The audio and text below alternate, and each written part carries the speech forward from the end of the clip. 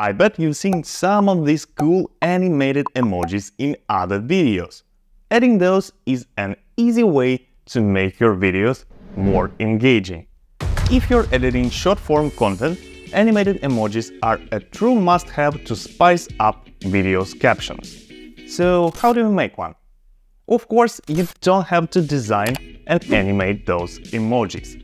The best place to get lots and lots of cool animated emojis is Telegram, which is a free messenger app. You can get access to even more emoji packs with Telegram Premium subscription. However, there's so much high-quality free stuff that I suggest sticking with free. Open any chat, click the emoji icon, select the one you want, and now you are presented with a bunch of animated options as well as animated stickers and you can grab any of those.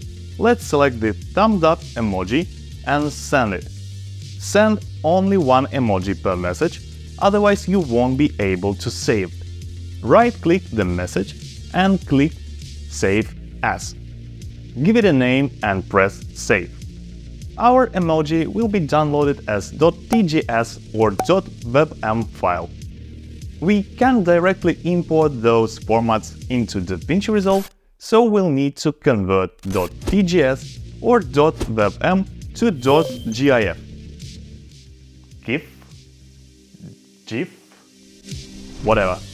To convert those .tgs files, we can use a tool called EmojiBest, and for .webm, we'll use ezgif. Both of these tools work online and are completely free.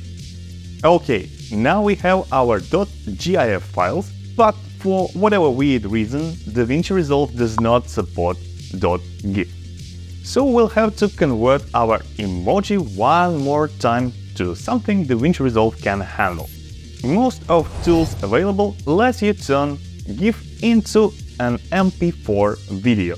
However, 90% of Telegram emojis have transparent background and converting those into standard .mp4 isn't an option as it doesn't support transparency.